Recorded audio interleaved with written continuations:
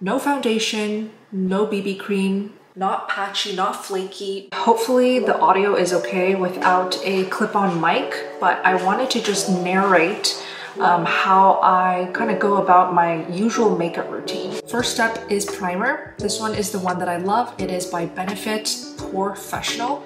When I was in China, I applied this every single day and it literally saved my makeup from melting off my face. A lot of you guys, and me included, may notice that when you put your makeup on, initially it looks beautiful, flawless. And then just an hour or two later, it starts separating and it starts flaking. That's why I start off with primer. Let me see if I can show you guys.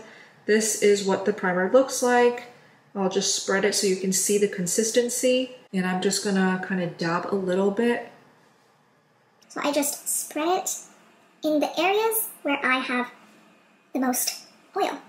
I have oily combo skin. No foundation, no BB cream. I simply just do a really good concealer in the spots that I need it. This is the best concealer I have ever used, ever.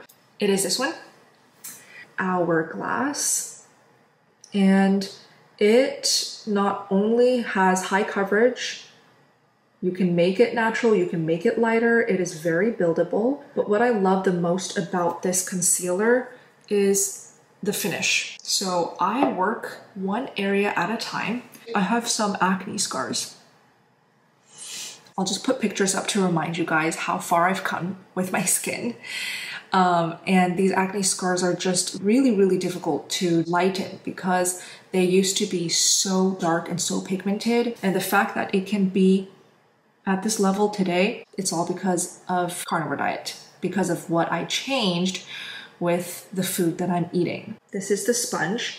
It is bouncy, cushiony. Do not rub, smear, move your makeup all over the place. Using a brush like this one, like a foundation brush brush, you risk creating a streaky look if you're not careful, if you don't blend enough, and it just tends to move the makeup all over the place. And if you're wearing a sunscreen underneath, a brush like this tends to cause a lot of pilling. A sponge like this is so that the makeup stays where you want it. You just pat it in. So before I apply, I use a bottle of plain water. I spray the sponge, spread out that dampness on your hand. You start going in.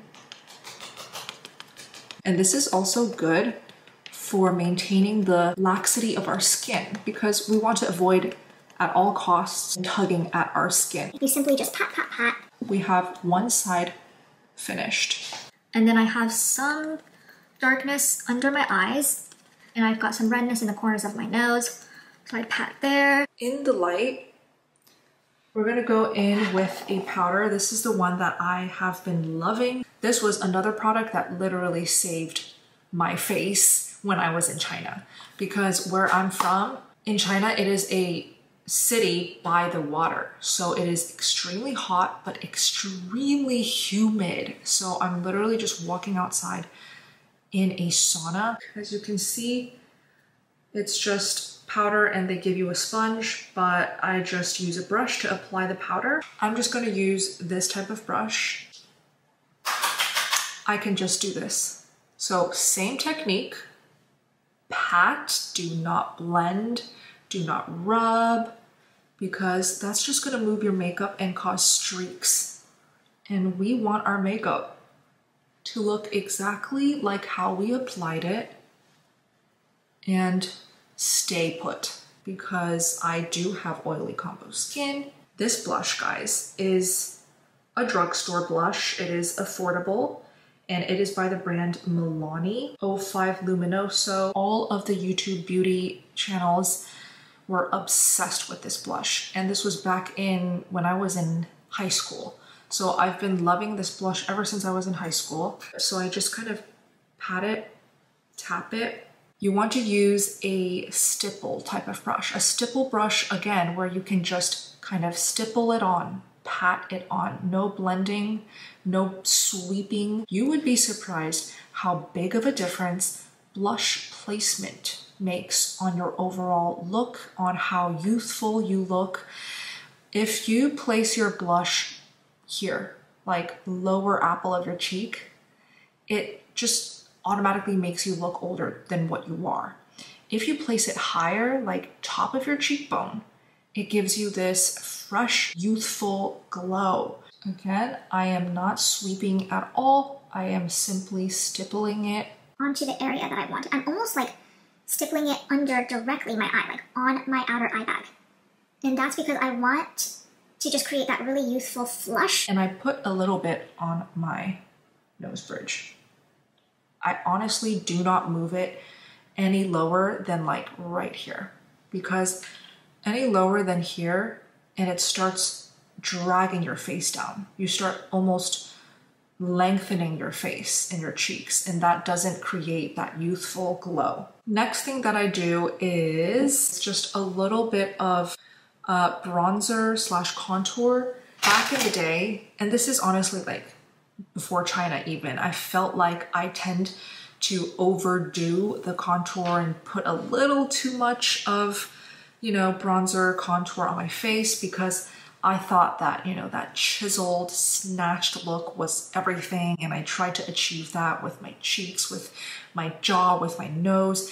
And once I got to China, I started learning having full, chubby cheeks and more fat on the cheeks is a really good thing because it really aids in helping you age. As we age, we will naturally start looking um, more gaunt and our cheek fat will start to decrease. So I definitely learned to embrace my chipmunk cheeks. Just do it super, super light.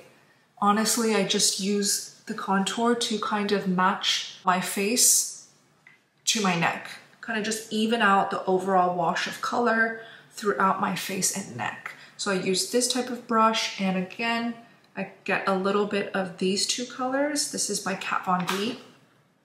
It's very forgiving, so you can kind of just go everywhere. In China, all the girls use a brow pencil that looks like this. So as you can see, this pencil is super flat. Look, this is the side profile. It is so flat and so sharp. And the reason they purposely use brow pencils in this shape is because it can mimic brow hairs. Look, look at how thin it can draw.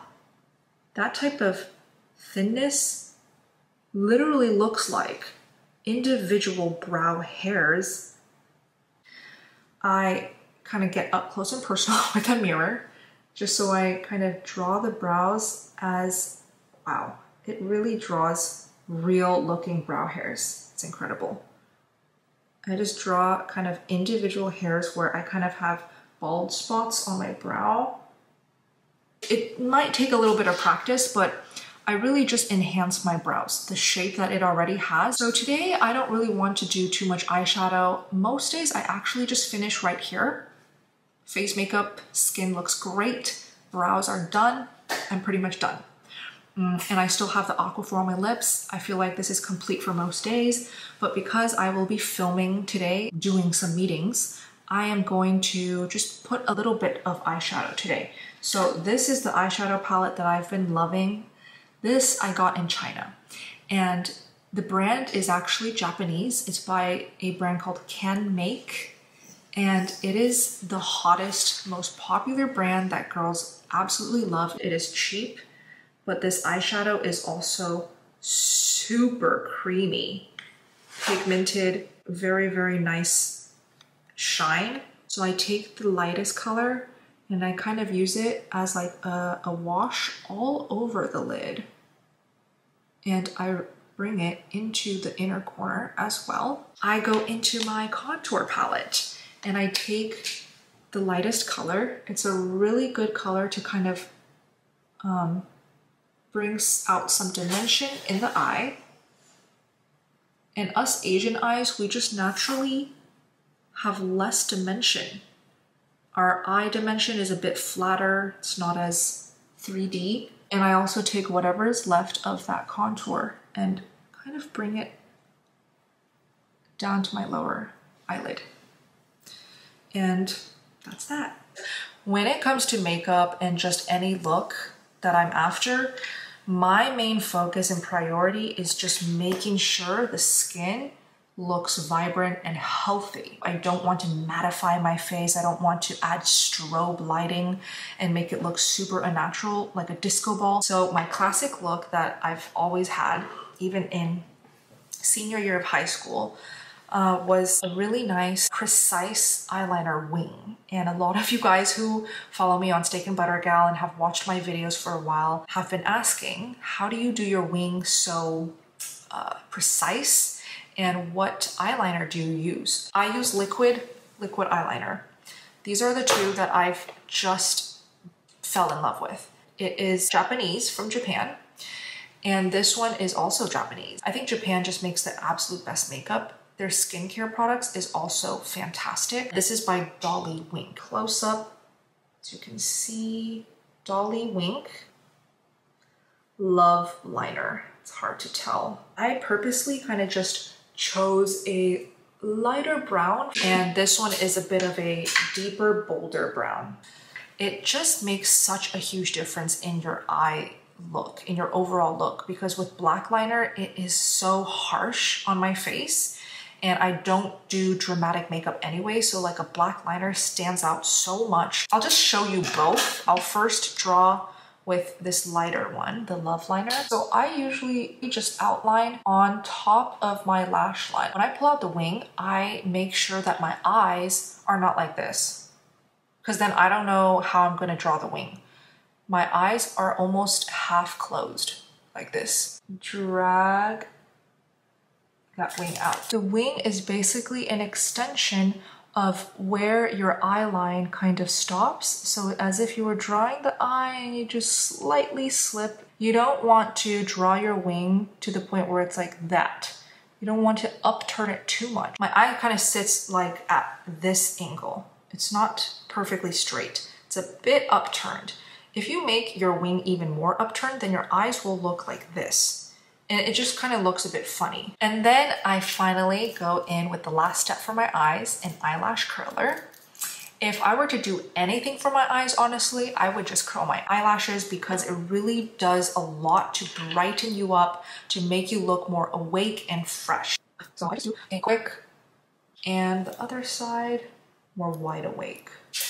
I don't think I look dramatically different, but I definitely look more presentable, I feel like. And the makeup really just enhances my features that I already have. This lip liner, I've been using exclusively this single lip liner for two years now because it is the closest color to my natural lip color.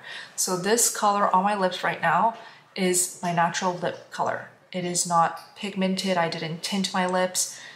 There is no color. All I put on was the Aquaphor from earlier. This MAC lip liner pencil is fantastic because this color is just so carbon copy of this color. So if you like this color of lip, this is a very good color. Slightly line my lips. I don't dramatically overline my lips like, you know, Kylie Jenner. I noticed that the girls in China, their favorite lip look is an ombre lip, as in they put a very deep dark red in the inside of their lip from dark to light. I really tried and it always just looks so off on me. So I'm just gonna stick with what I know works for me and go in with a clear lip gloss. I loved this lip gloss before I went to China. It moisturizes so well. It kind of plumps up your lips and it has like this really nice minty tingly feeling. So it's clear and I kind of just go in on the lip. Spread it a little bit. And when I went to China, guess what? All the ladies are obsessed with this exact lip gloss uh, in the clear shade, but also the other shades that Sephora offers. As always, linked below if you want to check out everything. And that's it. This is pretty much my entire face. Let me see if I can get some natural daylight. So this is me facing the window, but it doesn't look any different, I don't know. But this is me under direct fluorescent light, okay? And the fact that I can still look this even, not patchy, not flaky, not um, dry, is because of the specific way I applied the makeup. The way that I, you know, patted only. No strokes, streaks, rubbing, brushing all over the place. It makes a huge difference. So Ah, I don't know how long this video is going to end up being because I shared quite a lot. You know, when I was in China, I really had all the time necessary to dedicate my time to take care of my dad. But the moments where he didn't need me to actively take care of him and help him, I was just studying and learning all about self-care, all about skincare and makeup and just daily habits that I could implement to really make a difference in um, how I feel, how I look and age down the line. So I'm just really excited that there's this second channel and that I have the freedom to kind of just use this channel to film everything. And finally, I kind of just finish off my look with some really cute earrings. My mom was so sweet and she got me so many cute earrings. She is personally very much into like dressing up well and um, pairing accessories with the right look and the right outfit. She still looks like she's 40 and she is now 63 I think. She also has like very full cheeks and plump cheeks so that's how I know that you know, because I have also very plump cheeks. I will probably age as well as her, I hope. And I feel very confident in the carnivore diet, in eating. I'm just feeling really great about my whole routine when it comes to skincare and makeup. And do let me know, like, do you find any of this, these tips helpful? If you try any of them, I would love to hear about how it worked out for you. And if you have any other tips that you'd like to share with me, I'm super open to trying new things when it comes to skincare habits and uh, makeup products. So feel free to comment it down below. As always, I'm just so happy and grateful that you are here watching this video. I am assuming that you are coming from my Steak and Butter Gal channel. I can't imagine anyone watching this who isn't from Steak and Butter Gal. So um, hi, thanks for dropping by over here and I love you guys. I will see you in my next video then. Any video requests or questions, um, as always, feel free to comment it down below and I will make sure to answer the questions and film the video requests that you guys have. Have a beautiful day. I will see you guys in my next video or over at Steak and Butter Gal. Bye.